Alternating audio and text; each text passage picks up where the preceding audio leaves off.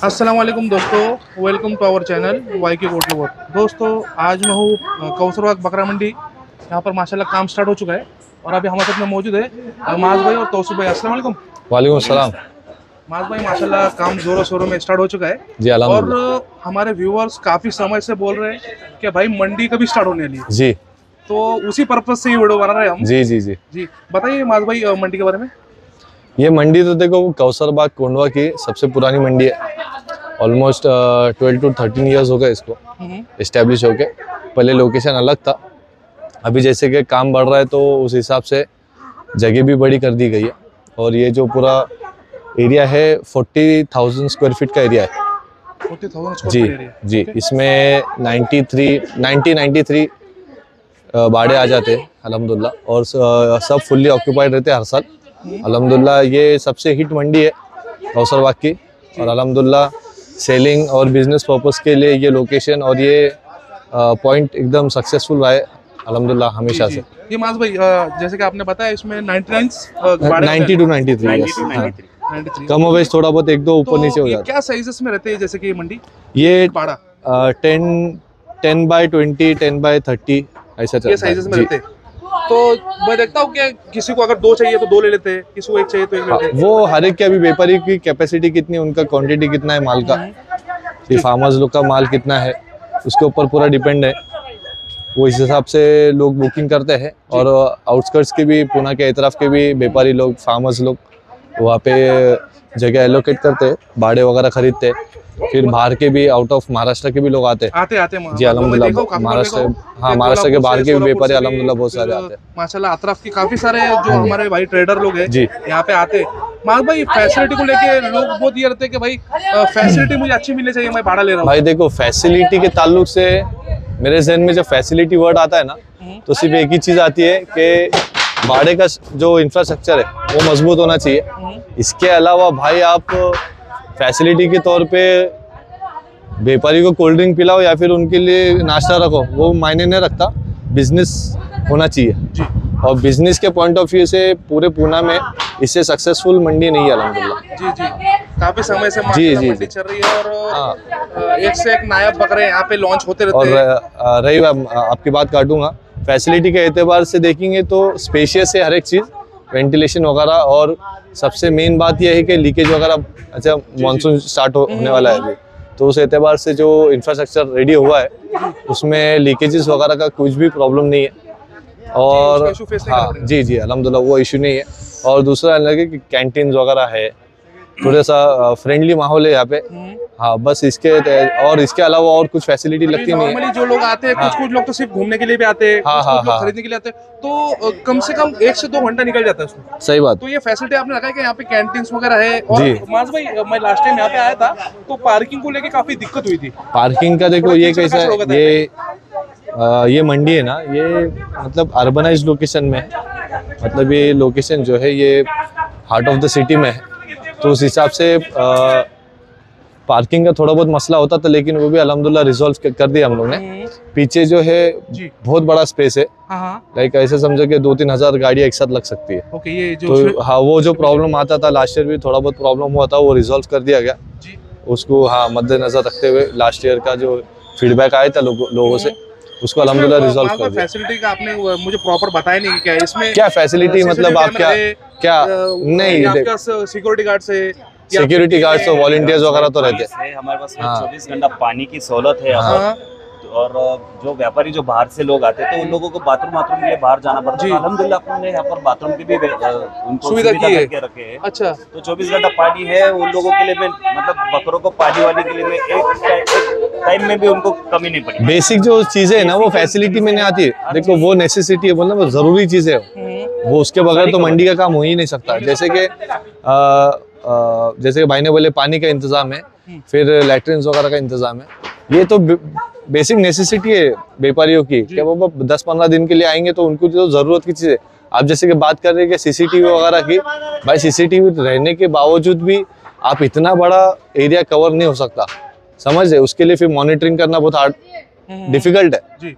तो और इस हिसाब में क्या होता जब कोई व्यापारी भाड़ा खरीद रहा है तो भाई तुम सीसीटीवी लगाओ या मत लगाओ माल की ज़िम्मेदारी उसकी इंडिपेंडेंट उसकी रहती है। हम्म, तो उसमें सीसीटीवी का देखो अच्छा है कि एनहांसमेंट कर सकते हैं लेकिन हम लोग जो है उसको अभी तक के काम में नहीं लाए हुए। वो तो जी। सालों से आप वो जो जी। ये मंडी चला रहे हैं तो उसमें आपको कभी नहीं नहीं ज़रूरत नहीं पड़ी ये सब अपने अंडरस्टैंडिंग हैं। सब एक बकरा चोरी वगैरह का भी मामला नहीं है कई बार ऐसा भी होता है कि भाई अ, फला बाड़े का बकरा दूसरे बाड़े में चले जाते हैं मगर वो अल्हम्दुलिल्लाह अल्हम्दुलिल्लाह यहाँ के कर लेते हैं अपने पास के जितने आ गया यहाँ पे। बकरा एक दूसरे को एक्सचेंज कर लेते जी हैं। वही वही। ज़रूरत नहीं पड़ती ठीक है तो माज भाई ज़रूरी बात अभी ये अ, किसी को बाड़ा बुक करना है यहाँ पे जी। तो क्या करना होगा उनको? उनको तौसीफ भाई से अमीन भाई और वलीद भाई से रब्ता करें। हम्म। इंशाल्लाह उनके नंबर्स कॉन्टेक्ट नंबर मैं स्क्रीन पर दे दूँगा। इंशाल्लाह तीनों का। जी। तो जिस किसी भाई को जैसे कि भाड़ा बुक कराना है हम्म। तो इन तीनों में से किसी भी एक नंबर पे कांटेक्ट कर सकते हैं।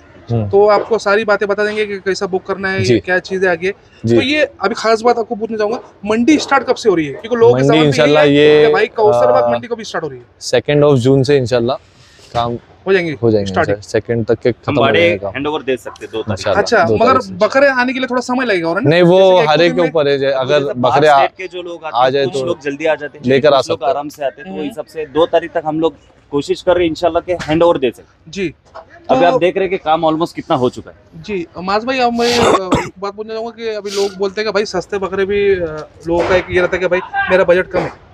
तो ये फार्म में ऐसा रहना कि भाई क्या यहाँ से सस्ते से लेके सस्ता नहीं नहीं नहीं, नहीं देखो मैं तुमको एक बात बोलता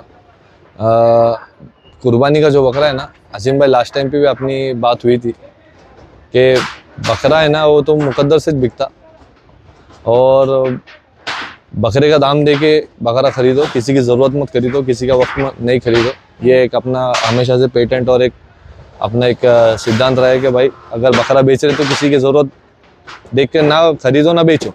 खुली बात है। जी। और जायज़ पैसों में बेचो नाजायज़ पैसों में ना बेचो।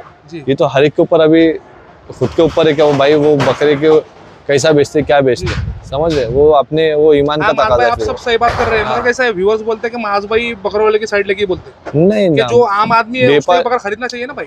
मेरी एक बात सुनो बकरे को आप गोश्त के हिसाब से देखेंगे हम्म, तो कसाई की दुकानें खुली है। खुली है। वहाँ से खरीद। साल भर फार्मर्स लोग जो है बकरा संभालते हैं। अभी आप कॉस्टिंग के हिसाब से देखेंगे तो बकरे तो महँगे हो रहे हैं। हर एक चीज़ महँगी होगी पेट्रोल डीजल हर एक चीज़ सिलेंडर महँगा होगा हर एक चीज़ महँगी। तो फिर बकरे की फीडिंग का कॉस्ट भी बढ़ गया ना। बढ़ गए तो उस हिसाब से कुर्बानी का बकरा भी महँगा हो गया। हम्म। तो वो एस्पेक्ट को अपन जी वो लोगों को समझ नहीं करते। भाई अ, हाँ। मैं तीन साल से सुन रहा हूँ भाई बारह हज़ार वाला बकरा दिखाओ। अभी बारह हज़ार से थोड़ा अब भी आना चाहिए ना क्या हाँ। पंद्रह वाला भी ले सकते हैं अठारह वाला भी मेरे पास में हाँ, आप अगर मुझे बोलेंगे ना तो कल मैं इनशाला आठ हज़ार रूपए की पट्टी भी दूँगा तुम्हें okay. कल के कल में इंशाल्लाह मंडे के में वैसे मज़ा हाँ। आएगी तो आपने एक्सपेक्टेशंस जो है ना हम्म, कस्टमर्स के वो भी ज़्यादा है हम्म, लेकिन वो कम पैसे में अच्छी चीज़ एक्सपेक्ट करते वो चीज़ पॉसिबल नहीं है। जी जी। वो ऐसा है कि किसी के नल्डे पे पैर रख के लेना वो भी दुरुस्त नहीं है। जी सही बात है माज भाई।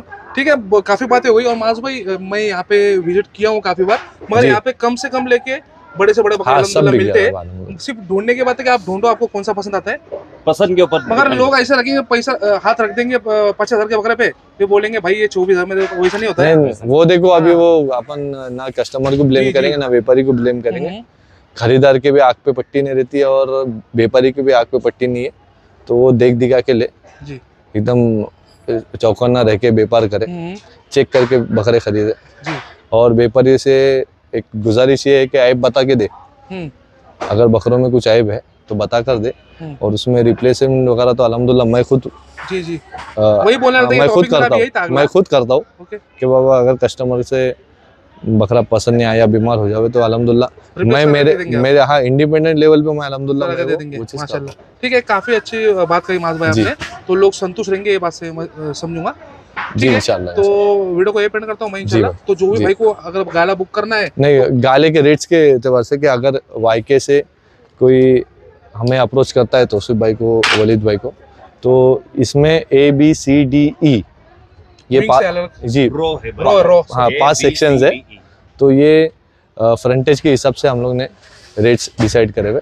ये जो फ्रंट रो है ये ए है। अच्छा ये ये फ्रंट A रो है। है। ये हाँ। ये। ये थर्टी थाउज़ेंड रुपीज़ का एक बाड़ा है। ओके। फिर बी ये वॉकिंग पाथ है। B C hmm, and D B और सी का twenty five thousand each okay.